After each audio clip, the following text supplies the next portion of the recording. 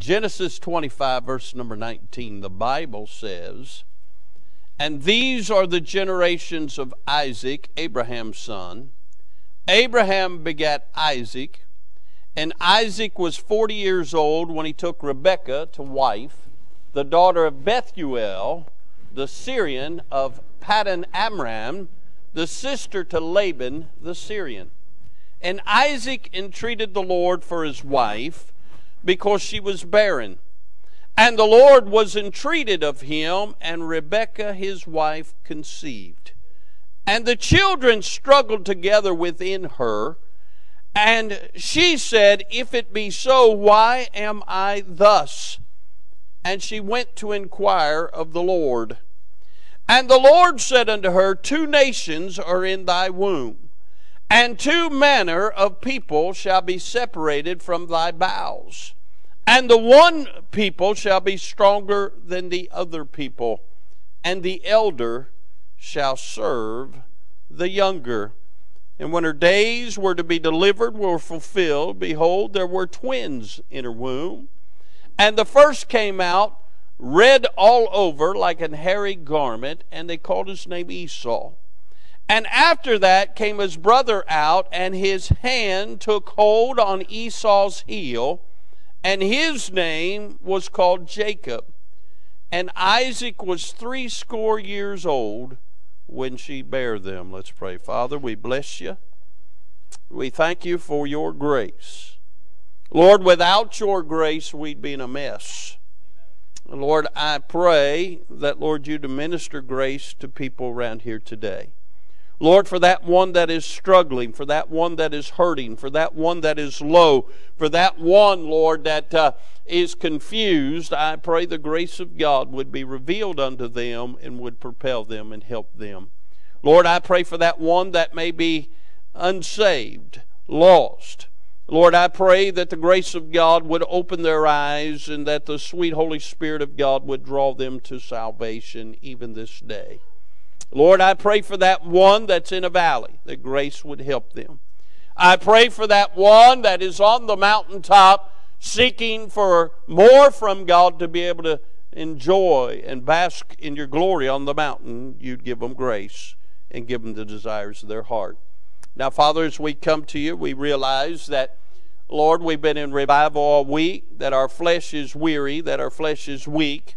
We realize that uh, the world, the flesh, and the devil has come against us. We realize that, Lord, in this day and age, there's a lot on people's minds and on their hearts, but we pray right now that you'd put a hedge about us. We certainly plead uh, the precious blood of the Lord Jesus over this place. Uh, and Father, we ask that, Lord, you'd bind the powers of hell. Uh, we ask that the sweet Holy Spirit would arrest everyone's attention uh, and bring everything unto uh, a, a, place where folks could focus and listen to what thus saith the Lord.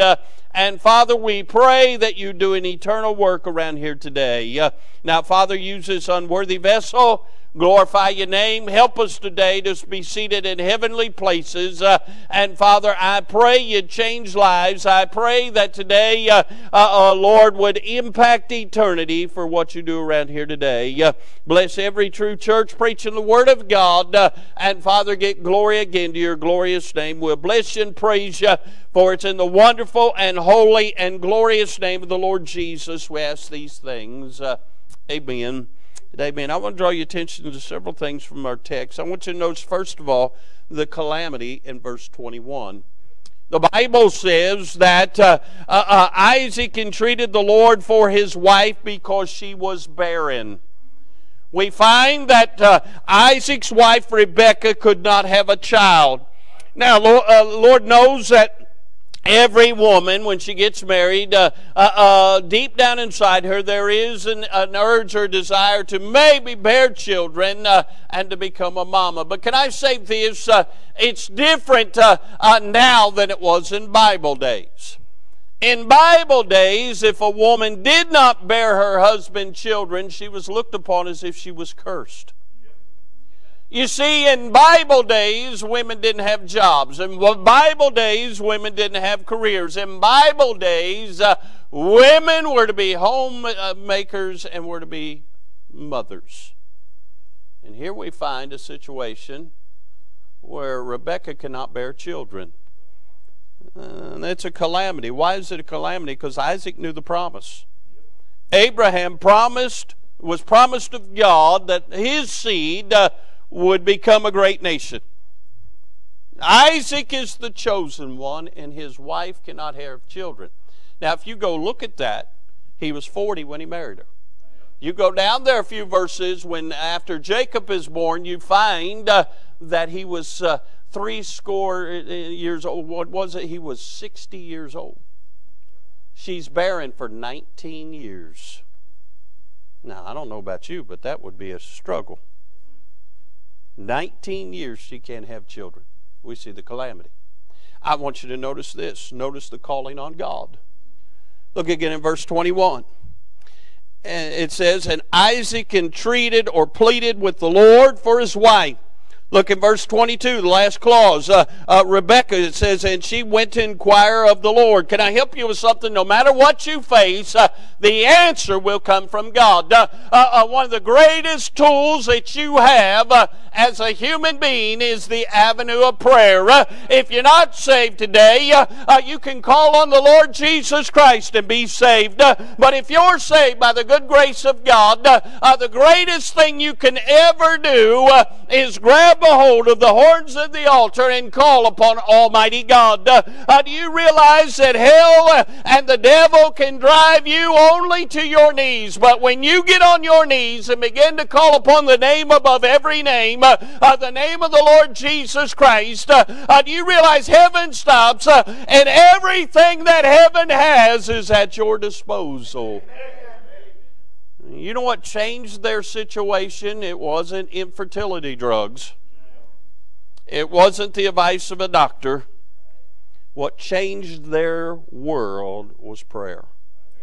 Mm-hmm. Mm-hmm. Verse 21 said, And the Lord was entreated of him.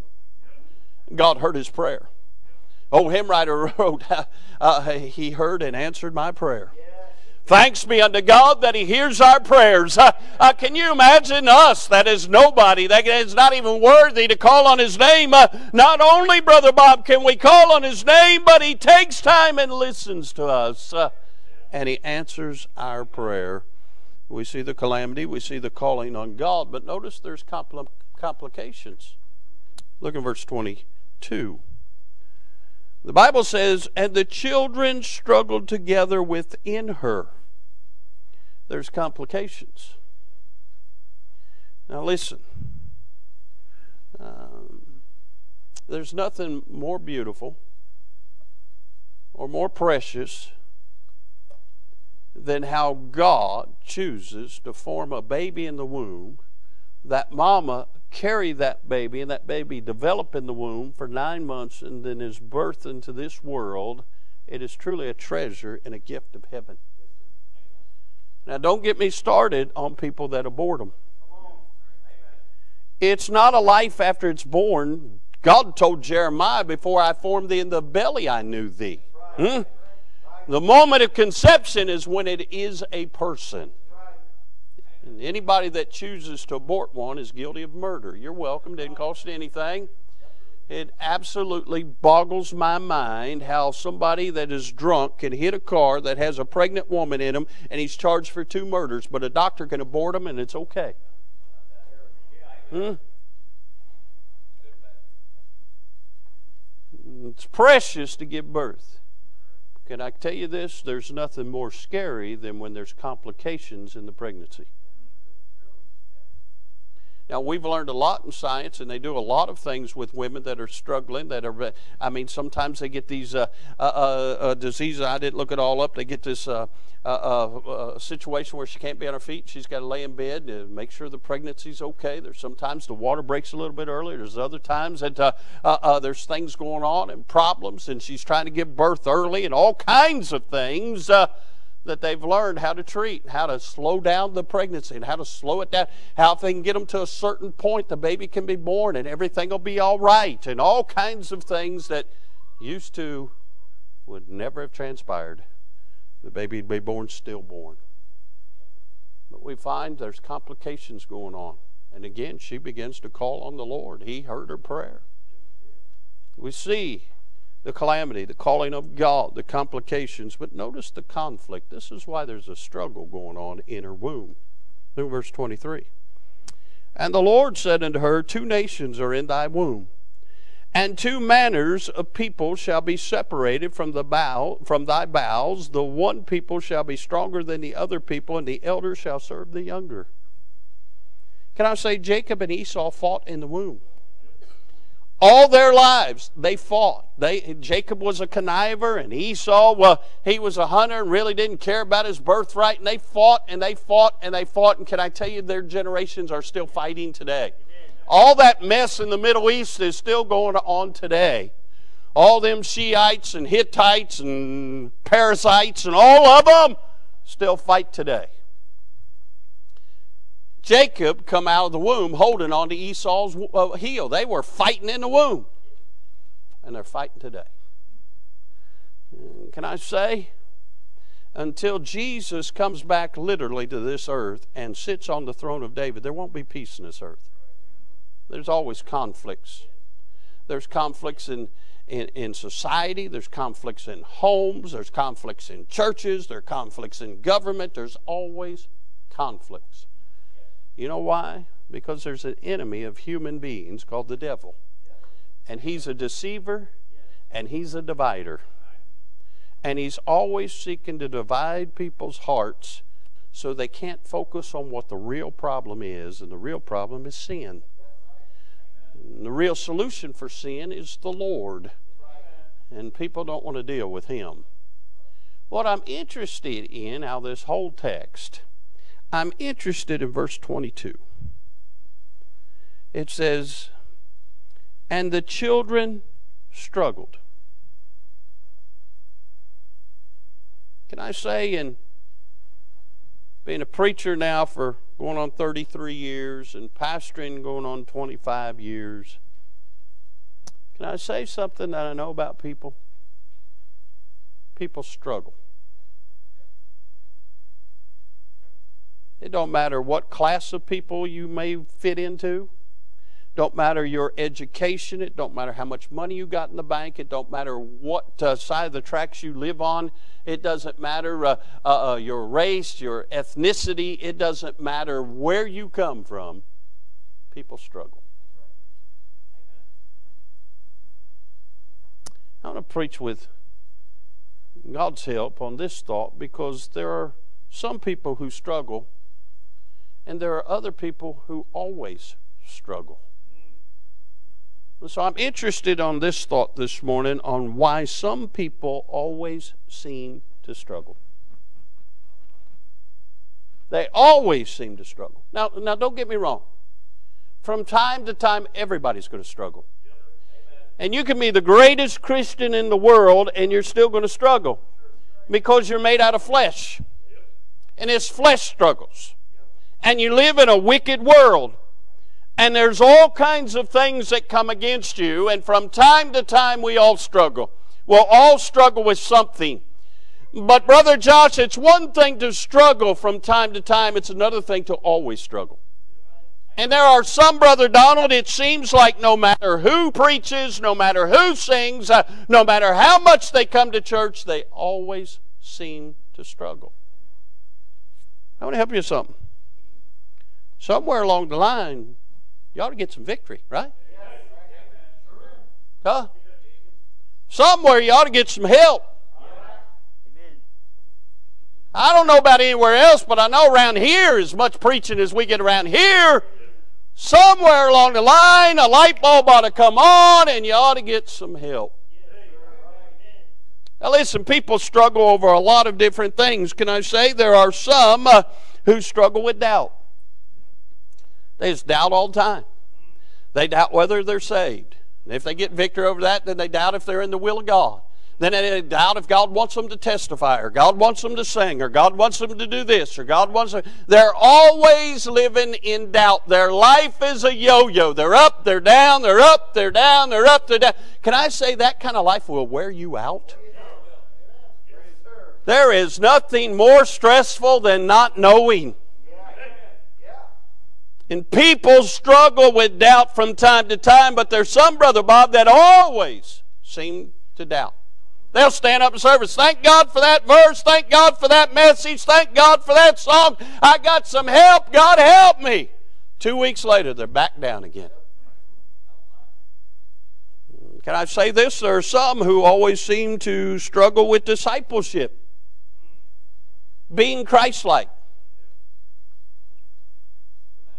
Learning about the ways of Christ and then walking therein. You see, if you've been born again, the Spirit of God indwells you, you are in the family of God. And if you are in the family of God, God ought to start showing out on you. Hmm? I have three foster children here today. And all three of them have traits of their mama and have traits of their father. Now, Sydney's going to act like Sydney, but if you're around her long enough, you're going to see some Brother Doug come out in her, especially if you get her mad. And then you're going to see some sweetness come out of her, Miss Annette. Christian, same way. Jordan, the same way. You hang around them, their parents are going to come out of them. They have their parents' traits in them, but they have also learned their parents' mannerisms and learned their parents' ways, uh, and it comes out of them. Uh, uh, uh, if you know the Lord, if the Spirit of God is in you, if you spend any time at all in this book or spend any time at all praying and sitting under preaching, uh, He's going to start coming out on you. Uh, you're going to become more like Him. You're going to look like Him. You're going to talk like Him. You're going to walk like Him. You're going to be like Him. But yet there's some that always seem to struggle with discipleship.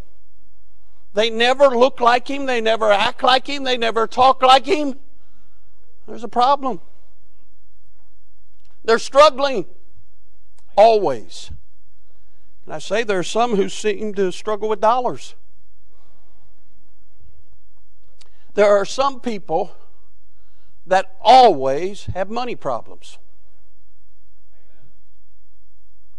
Now, from time to time, everybody's going to have money problems. From time to time, you're going to have something unexpected happen.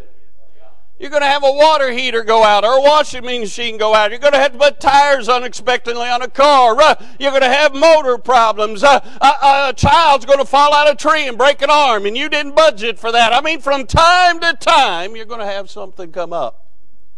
But there are some people, they're always in the poorhouse. They always are struggling. Hmm? Now, listen to me. Does not the Bible say God is no respecter of persons? Brother Josh, that means God doesn't love you any more than He loves me, or love me any more than He loves you, and He's given us the plan.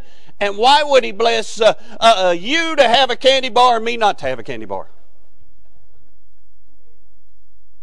Well, if He's no respecter of persons, and He's given the plan, then and it's it's it's it's all the same across the board. If you got a candy bar and I don't have a candy bar, that means one of two things. Either I'm not following the plan or God can't trust me with a candy bar. But that doesn't mean he's not going to trust me with anything. Hmm? I mean, the, the Bible says the Lord is good overall. So why does it seem like there are some who never, ever, ever get over that money hope uh, hump? Always struggling. Always struggling. I'm not talking about sometimes. Always struggling. Hmm. Boy, it got quiet right there. I learned. You can't preach on mask. You, you can't preach on dollars. Uh, you can't preach on people's ugly youngins. People get quiet on you. Hmm? My grandma used to say this. You know, everybody believes their child's beautiful. My grandma said, she'd always say, Well, nobody's got prettier grandbabies than me. She said, Some of them got ugly grandbabies. That's what my grandma used to say.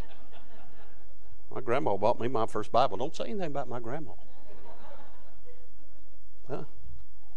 Not all her babies were cute, though. Look at Brandon. Huh? Where's he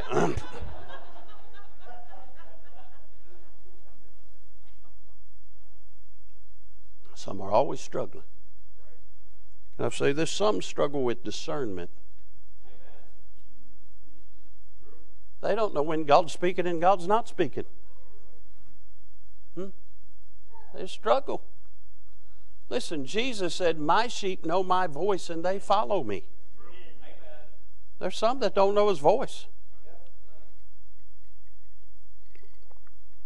You see, if you're about ready to step into the mud puddle of sin, the Holy Spirit will say, Don't do it. But there's some, Brother James, that never hear that. They always just waller in it. At a service, the Holy Spirit will say, Preacher gives an opportunity to testify, testify. And some will testify, and God's on it, and God blesses it, and people get help. And somebody else said, Boy, we had that Thursday night. Somebody else will testify, and somebody else will testify, and God's a blessing, and God's a moving, and God's a blessing. And then somebody don't know the voice of God will stand up and say some of the stupidest stuff and grieve everything God just did. Now listen, nobody 100% of the time is going to nail the, the voice of God, but I'm going to tell you, there's some that never nail it. They just always seem to struggle. And I thought about this. There are some who always seem to struggle with feeling deficient, inferior. Now, listen, I already mentioned God's no respecter of persons. Now, hear me and hear me well. There's nobody breathing God's air and walking on God's earth that is worthy of the Lord Jesus Christ. The only thing we're worthy of is to die and go to hell. We were conceived in sin. We're sinners by birth, sinners by nature, sinners by practice. Uh, we've all sinned and come short of the glory of God. Uh, there's none righteous, no, not one. We all are failures. But the grace that Brother James sang about in that yet while we were yet sinners, Christ died for us. Huh? For the wages of sin is death, but the gift of God is eternal life through Jesus Christ our Lord. Even though we were failures and sinners, God made a way. He sent His Son to die on the cross, uh, uh, to shed His blood to be the propitiation for our sin. Uh, he was buried uh, and rose again according to the Scriptures. Uh, and the Bible says, Whosoever shall call upon the Lord shall be saved. Uh, hey, my salvation's not based on my baptism. it's not based on my church membership. it's not based on what church I attend my salvation is based on the Lord Jesus Christ, uh, what He did on Calvary. Uh, and when I called upon Him and asked Him to save me, He did. Uh, and hallelujah, I'm saved uh, by the good grace of God. Uh, I'm not worthy to be saved, uh, but I am saved. I'm saved in spite of me because God loved me in spite of my sin. And He saved me. Mm, can I say? Brother Bob been saved 47 years. I've never felt worthy to be saved.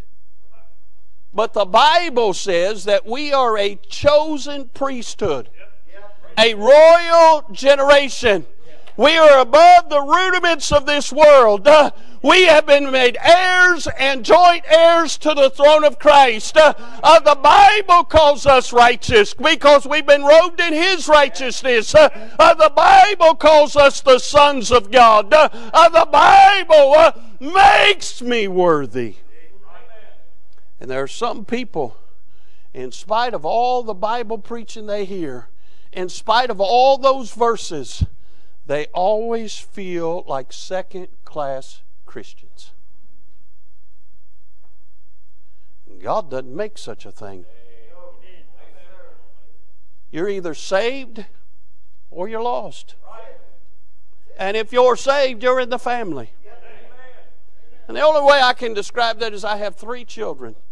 They're all three distinctly different, even though she don't like to admit it. She's more like Jordan than she is Christian. There's parts of Christian in her, but she's more like Jordan at times. But they're all three distinctly different. But can I say this? Me and Mama love all three of them exactly the same. They have our whole heart. We don't prefer one over the other. although they'll say she's daddy's girl and she gets her way with daddy. And she'll say, well, Christian's mama's boy.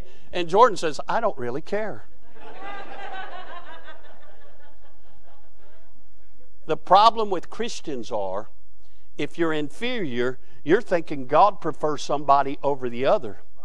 When you really get in, you're like Him. We really don't care if God blesses somebody else because He's blessed me far beyond my deserving.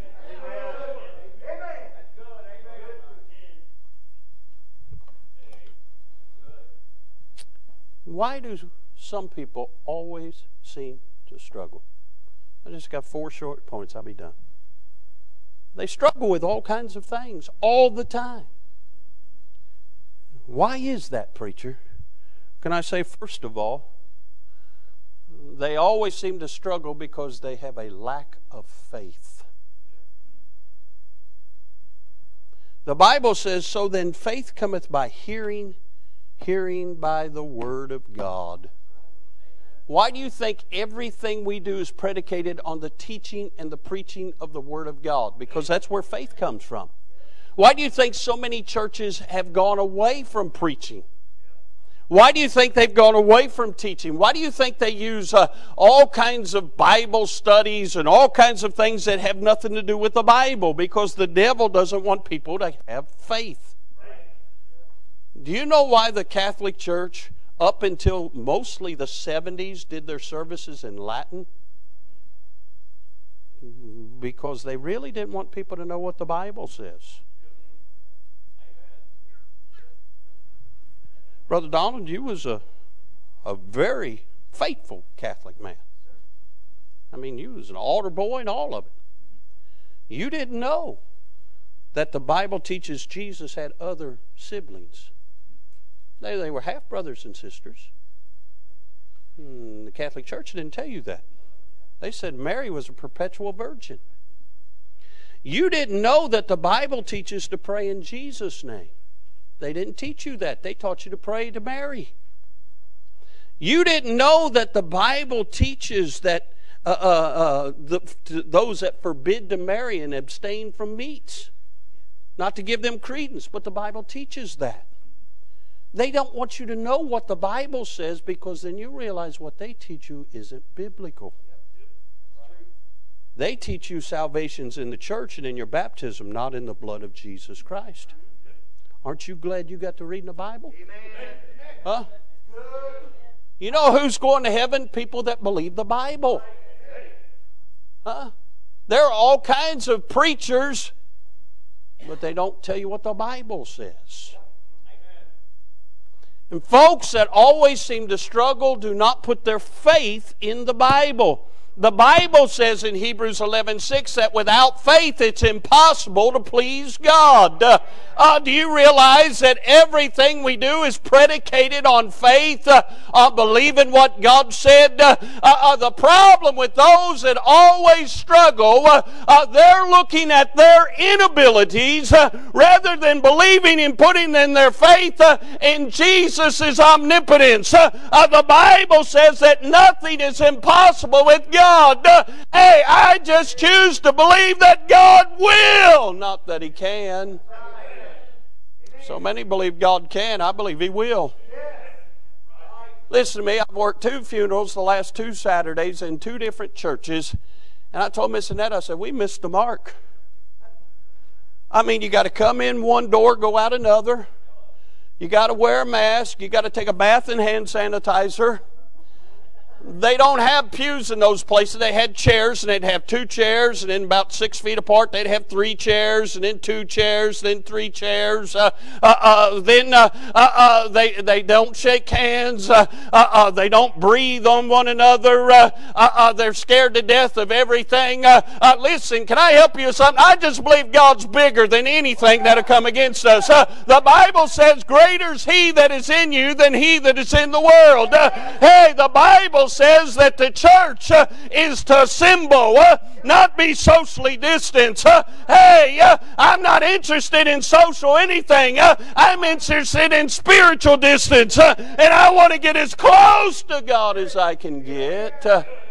they say, You're a rebel, you're a heretic, you, you can call me whatever you want to. I just love Jesus. And Brother Bob, we've been at it for, since May 14th, and for us to be the rebels and all that stuff, God sure has been good to us around here. They always struggle because of their lack of faith. Friend, you can, you can love God but not take Him at His word and be miserable. Hmm. Those one men came to, to Jesus and asked something of him, and he says, Do you believe? He says, Yea, Lord, I believe, but help thou mine unbelief. We ought to ask God to increase our faith. It's a crude analogy, but it's, it's, it's so true, and it's the best one I got. Faith is like a muscle. If you don't exercise it, if you don't stress it, if you don't strain it, if you don't push it to the limits, so that it can grow back stronger, it's useless. If you have a gym membership and don't go like me, it's useless. I did go, and then COVID came, and that's the one thing I gave up. Just got out of the habit. I was going five days a week, believe it or not. I was trying to take care of what little there is to take care of. But you can be like my daughter, who's a freak in a weight room her muscles are a lot stronger. You know why some of you struggle? You never exercise faith. Sometimes you've got to look beyond where you can see. You see, when those priests took that ark across Jordan into Canaan land, the river Jordan did not sway like the Red Sea. It wasn't until they committed their foot to it that it parted. And each step it parted a little more and can I help you with something? Sometimes you got to step beyond where you can see, uh, and you just got to believe God and take Him at His word. Uh, some seem to always struggle because of their lack of faith. Can I say, secondly, some seem to always struggle because of their lack of focus. The Bible says in Hebrews chapter number 2, verse 1 Therefore we ought to give the more earnest heed to the things which we have heard lest at any time we should let them slip. The problem, Jesus said, in the last days wouldn't be a, a, a, famine for the preaching of the Word of God, but a famine for the hearing of the Word of God. And the writer of Hebrews says we ought to give the more earnest heed to those things which we have heard. Hmm, can I say, the just shall live by faith, the just shall walk by faith, not walk by sight. Faith cometh by hearing. We heard enough preaching this week that we should have been absolutely jacked up ready to worship. But some didn't give heed to the preaching, and they're struggling today. You've got to put into action what God preaches. The Lord told Moses, Here are my commandments, do them. You can tote a Bible in your arm everywhere you go and say, I got the Bible, but does the Bible have you? Are you doing what the Bible says? I highly encourage you, if God don't change my heart, to come back tonight God don't change my heart, we're going to look at Ephesians tonight that deals a little bit with how we should live, but also deals with why we don't live that way. But I'm telling you, our problem is a focus problem. You see, back in Andy Griffith days, and everybody sat on the porch after they ate a big meal. They talked about the Lord, the goodness of God, and they looked out in the field where they'd planted some uh, uh, uh, cabbage and some maters and some cucumbers, and they saw them coming up out of the ground and knew it was the blessings of God on their life, and they had no problem focusing on how God, good God was. They went to church and they, they just lived their lives, uh, and life was a lot slower paced. Fast forward to now. Why, the Andy Griffith days are gone we're all running at light speed everywhere we go. Our lives are a whirlwind. We live in a society that doesn't sleep, although I am missing because of COVID that restaurants closed earlier. And, you know, they're all, you can only get so many in there and you got to wait and then they close. I miss uh, being able to go get a cheeseburger if I want to late at night with a milkshake. Pass by the gym and wave, said, See you later, boys. Huh? But we're running constantly. Parents working two jobs, come home, throw something in the microwave for dinner. Got to run little Johnny, little Susie to ball practice. Got to run here, run there. Then you got a crazy preacher having all these revivals. Got to go to church. Got to do this. Got to do this. And we're running so much that we're not heeding to the things of God. We're so inundated with life that we're not living. Not a victorious life. That's why the people struggle. Friend, I don't care how busy you are, you got to find time. And usually the best time is early in the morning to read the scriptures and pray and seek the Lord because whatever you put your mind on first thing in the morning is going to stay with you all day. Some people just struggle all the time because of lack of faith or lack of focus. Can I say this? Some people struggle because of a lack of following. The very essence of sin, the philosophy of the devil, is this my right to my claim to myself. It's all about me.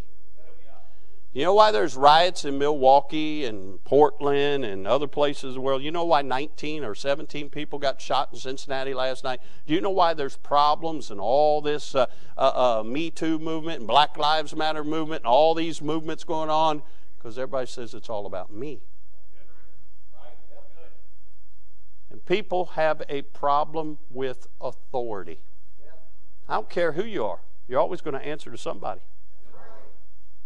And one of these days, we're going to stand before the Lord.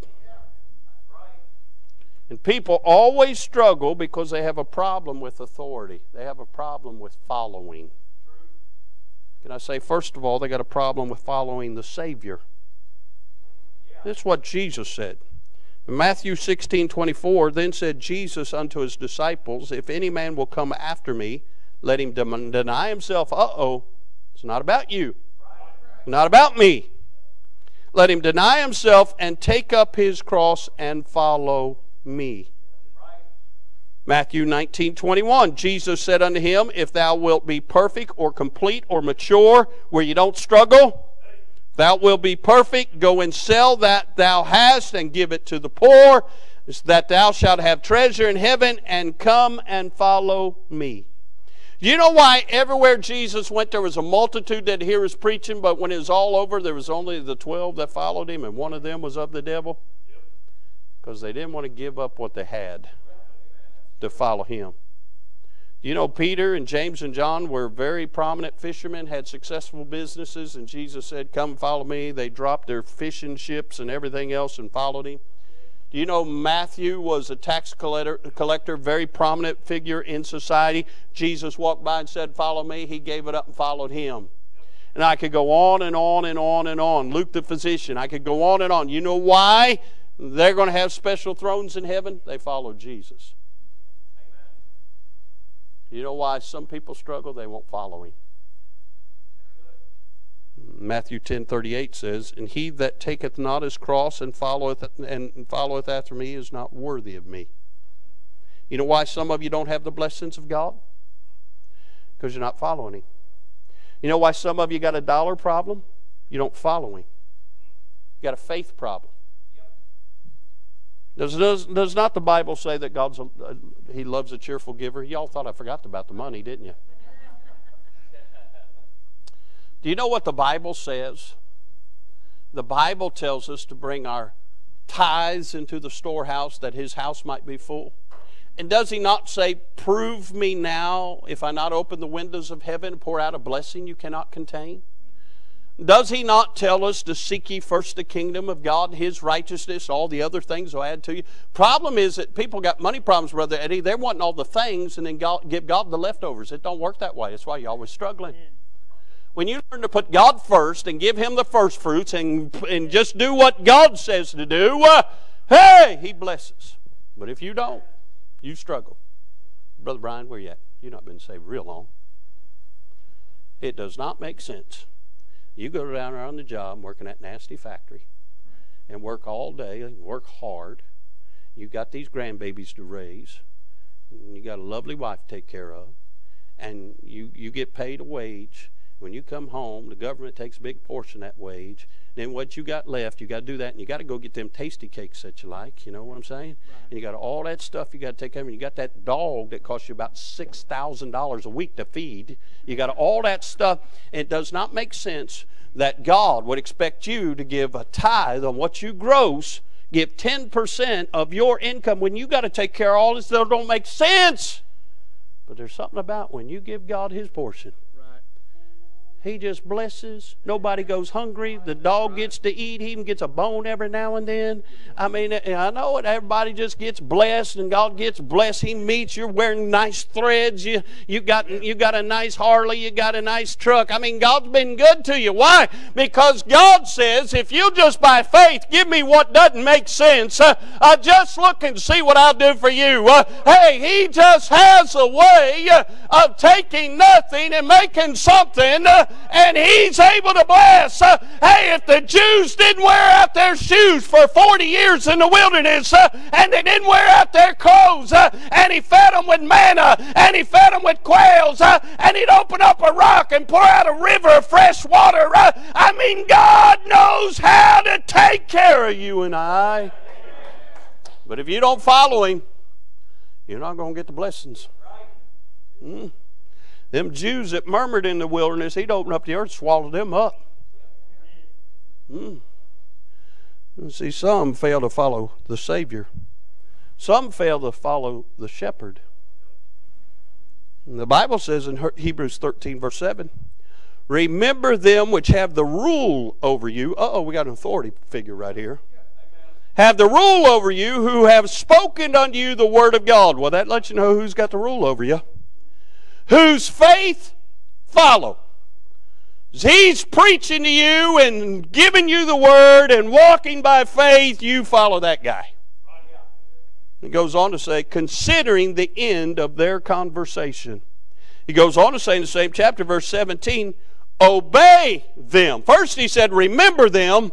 Then he says, obey them that have the rule over you and submit yourselves for they watch for your souls, uh, as they must give an account that they may do it with joy and not with grief, for that is unprofitable for you.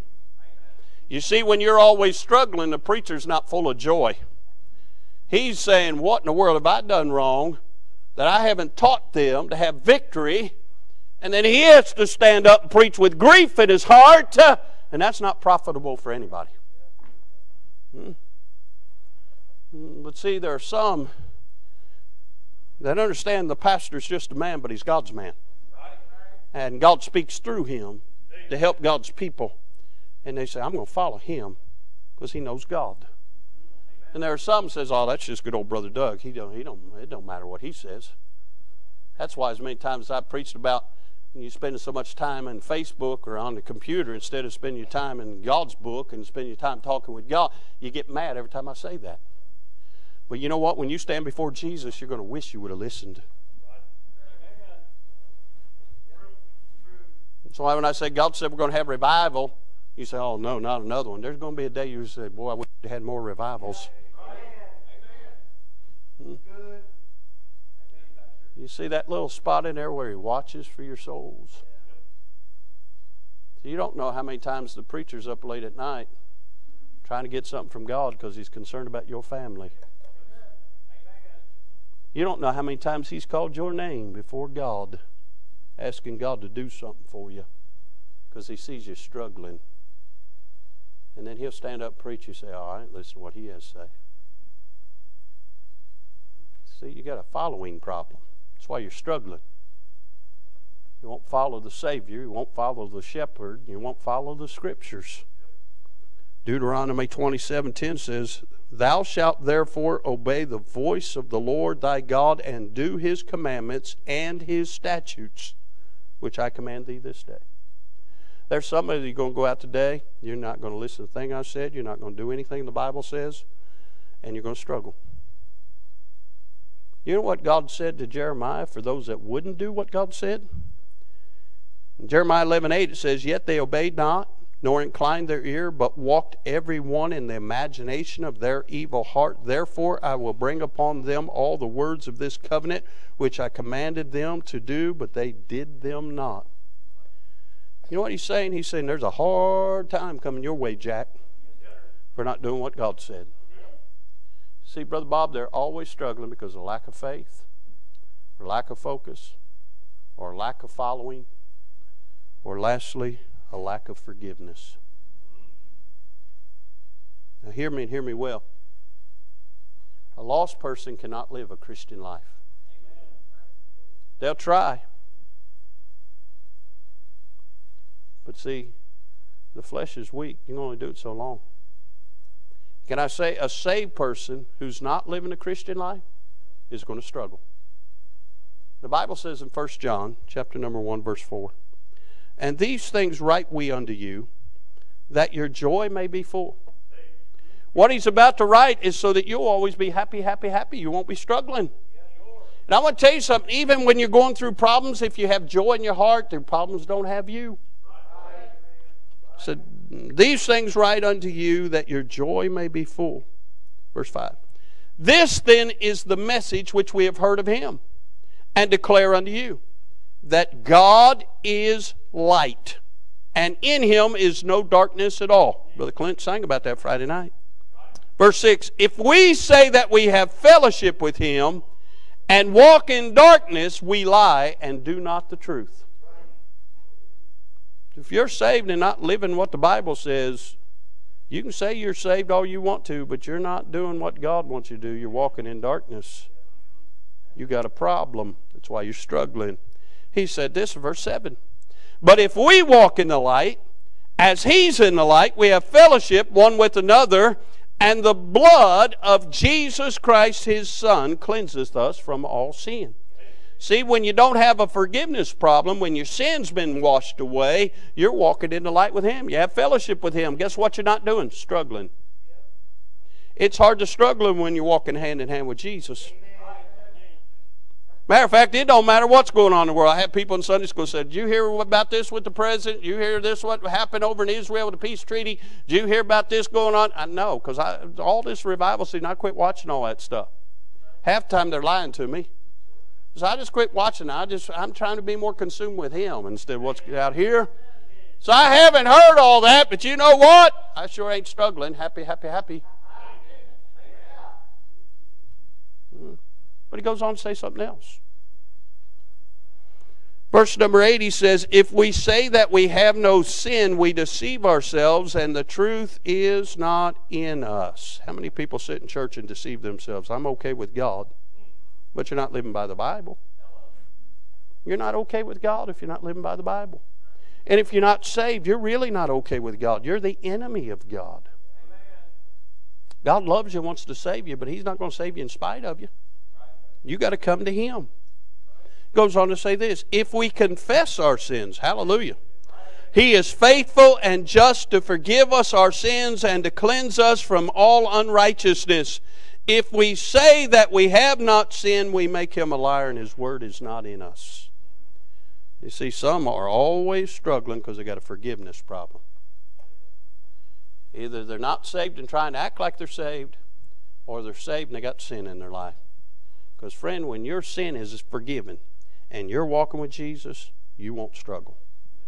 Oh, you may hit some blips in the road and some hurdles in life, but as long as you're walking with Jesus, that's all they are blips and hurdles.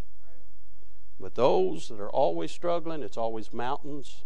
It's always, you know, something big and great and bigger than them, and they're always wanting people's attention about their problems, and they're always struggling, always struggling, always struggling. You know what your problem is? You got a lack of faith lack of focus, lack of following, or lack of forgiveness.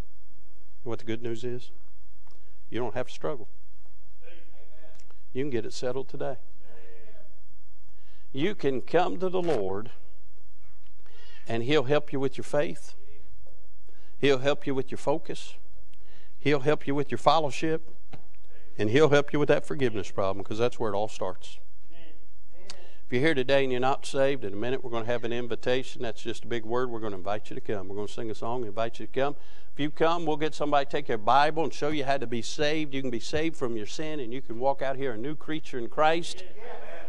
And that struggle of sin will be over.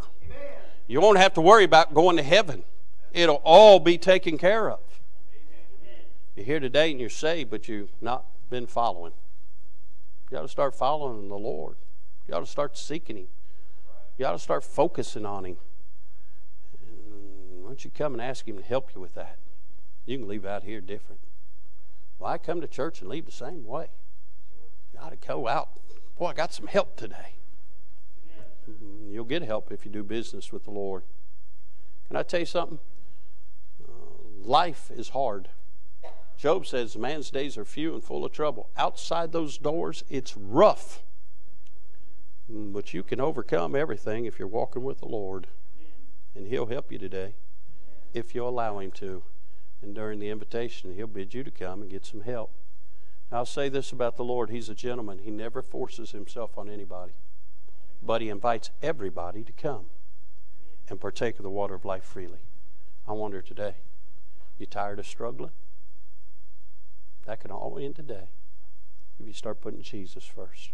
Let's all stand, Brother Ray, get a song of invitation. I was getting a song. Folks are coming to pray. Let's have a word of prayer. Father, we love you. Thank you for the scriptures. Thank you for being a present help in time of need. Thank you that when temptation comes, you make a way of escape. Thank you, Lord, that you can solve all the struggling. We'll just yield ourselves to Thee.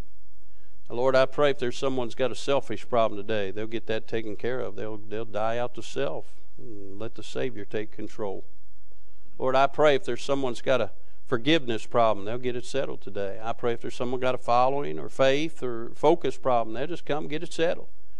I pray especially if there's somebody unsaved, good, moral people, or live you know, a good life and try to do right, but Lord, they've never given their heart and life to Jesus. I pray today would be the day of their salvation. Father, I pray, Lord, for that one that just always seems to struggle, they'll get victory today. God, help folks get glory to your name. Father, we'll thank you for it, for it's in Jesus' name we do pray. Amen. Amen.